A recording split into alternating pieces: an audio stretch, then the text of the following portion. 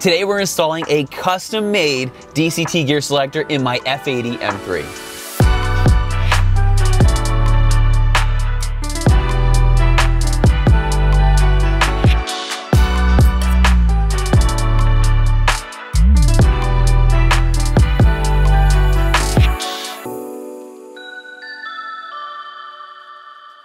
Hey, this is Bryan. Thanks for watching Kies Motorsports. If you like our videos, give us a thumbs up. Make sure to subscribe and check us out at kiesmotorsports.com. Now, there's nothing really wrong with an OEM gear selector in these DCTs. They look pretty cool, but we're making it even cooler by adding a customized one from Black Forest Industries.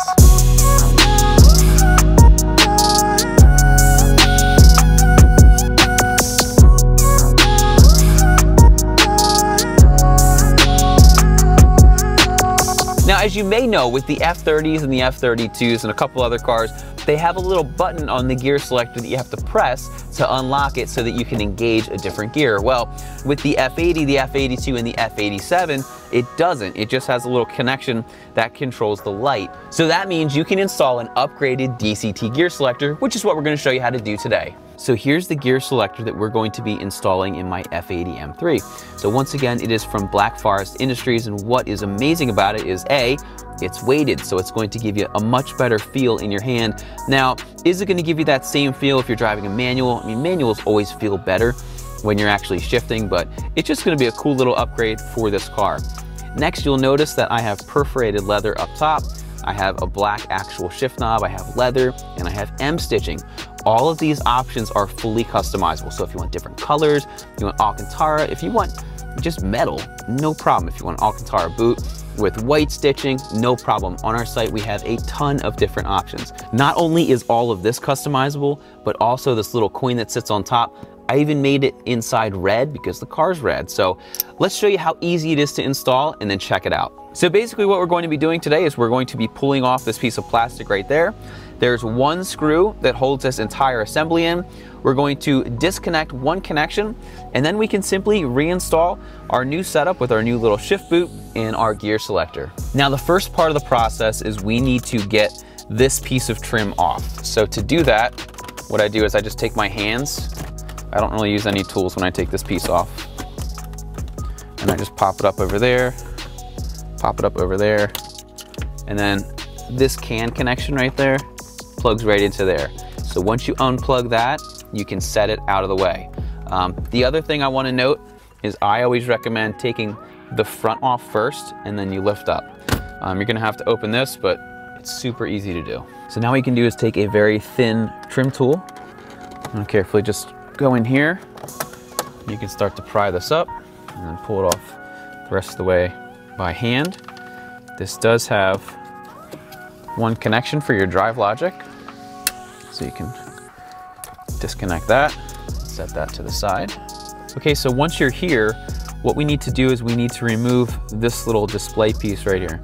Um, it's just held on by basically double-sided tape. So you can either, if you don't really care about it, you can just pull it off now, use a pick tool or use a trim tool. Um, I kind of want to save it, so I'm going to heat it up a little bit with a heat gun so that I can pretty much just slide it off. Now when you're using a heat gun, you never want to hold it in the same spot for a prolonged amount of time. And just be careful because you are inside your car. Even when you put it down, put it outside. It's not worth the risk. You could take a trim tool. Going to slide it around the edge. I like to start the bottom corner. Slide it around. Okay, there it goes. So here you can see the little adhesive that BMW uses. Um, so really just double-sided tape. So once you're in here, you're going to need a T8 to remove this screw. It's super tiny, so make sure you don't drop it. just put that in my cup holder. Then once you do that, this whole piece right here is gonna flip up, but there are electronics connected to it, as you can see right over here. So what we're gonna do is we're gonna carefully disconnect this.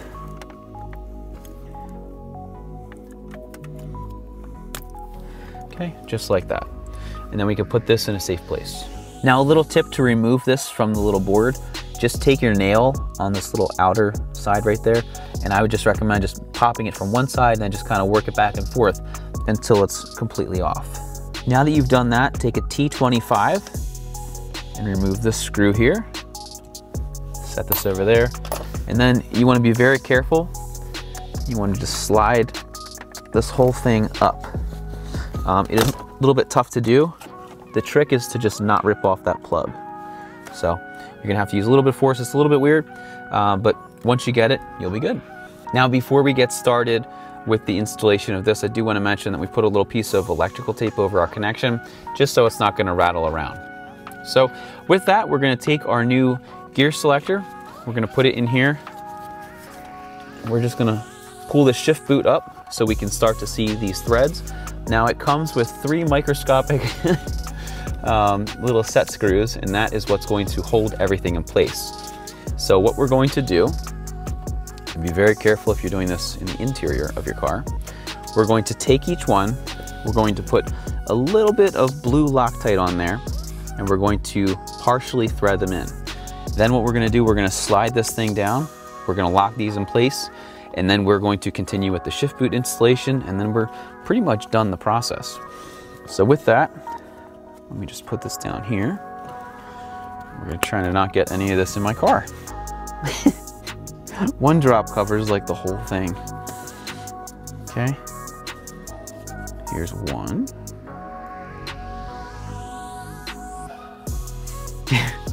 And with this, I recommend using the little Allen key. Honestly, just to hold this thing, thing because it's so small. All right. Okay, so then you can carefully slide your connection in here. Mine are a little bit too tight, so I have to loosen this up. Now you can install it however you want. Um, I'm going to install it so this little seam right here is facing the back. It's just a little bit too tight to spin around right now. Loosen that up. There we go. Uh, but if you wanted it to be facing the front or whatever, it's completely up to you. So now I'm just going to tighten these down. I have it pushed down as far as it will go. Then what you can do is you can take the included zip tie. These are pretty cool. It's like a specialty one where it goes in this way and it just remains nice and flat. You're going to take the zip tie over here. You feed it through like that. And then that's what's going to hold the shift boot on.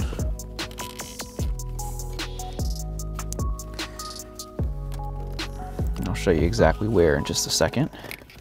Um, and before I, I make this too tight, you want to make sure that you have it on the right way. So the, the big side is going to be on the top here, and then the little side is going to be on the bottom.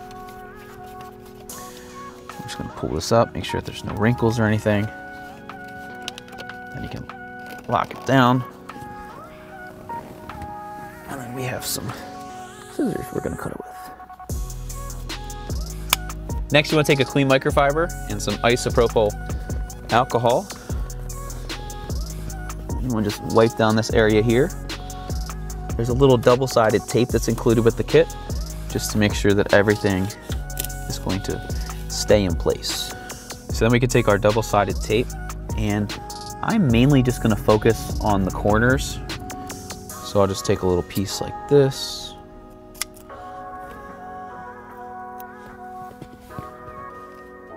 I'll put it like here. The corners are what tends to lift up.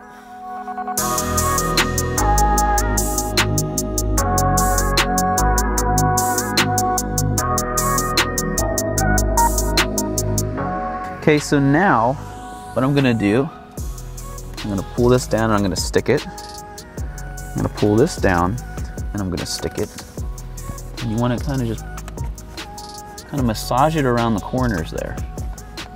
Um, the other thing that I'm trying to do is I'm trying to line up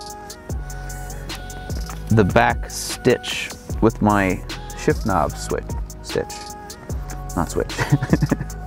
now what I'm gonna do is I'm gonna peel the backing on our little coin that goes on top. Trying to line this up the best we can. That looks so cool. So now what we can do is we can plug this back in, plug in Drive Logic, navigate this around. Press that all back in. Make sure that everything fully clips in. Then you can take your connection over here, plug that back in, lift this up, line up the back. Like I said before, I like to go like this. So in the reverse order to install it, I like to push that side down and then that. And at this point, everything is fully installed. Check it out.